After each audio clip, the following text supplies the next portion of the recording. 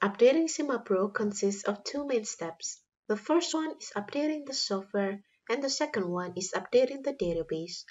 Only if these two actions have been carried out, you have performed the complete update of SimaPro. Let's begin with updating the SimaPro software. Head over to the SimaPro Hub Center website and choose the relevant update instructions. If you only want to go from one previous version to the next consecutive version, for instance from 9.11 to 9.2, you only need to use the regular update instructions. Please note that this update only covers the data gap between one version only and thus is well suited if you have been consistently updating SimaPro every time we roll out a new update. On the other hand, if you ever missed a few of past updates and you want to update from much older version of SimaPro, for instance from 9.0 to 9.2 or even from SimaPro 8.5, you can just go for the full update instructions. This setup will update your SimaPro software and database accumulatively in one go, so you don't need to do multiple updates. Therefore, it's always recommended to double check which SimaPro version you are currently using since it determines which update instruction you should choose. Once you have downloaded the SimaPro software, double-click the installer. Select the language you want to use during the installation. Then, follow the instructions on the Setup wizard.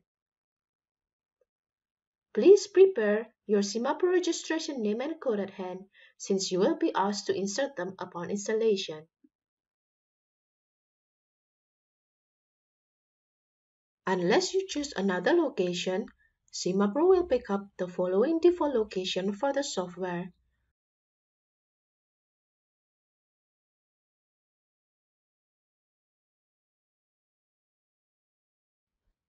The current SimaPro software will be uninstalled and then replaced with the updated SimaPro version.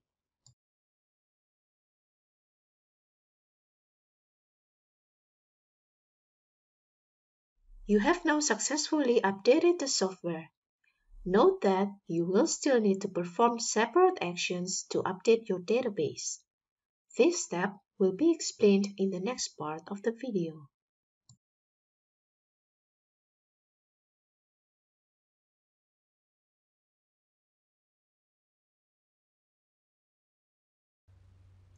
Now, after updating only the software, what changes can we expect to happen? Essentially, you get a newer version of the software that contains newer software features and less bugs. The database contents will remain unchanged. A software update won't change any library, projects, or methods in your database.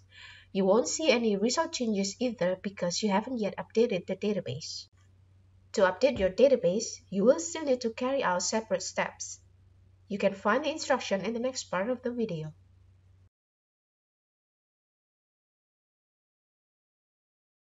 您的直觉，我们的软体。买正版软体找祺荃企业有限公司，统一编号二八七九三九六七。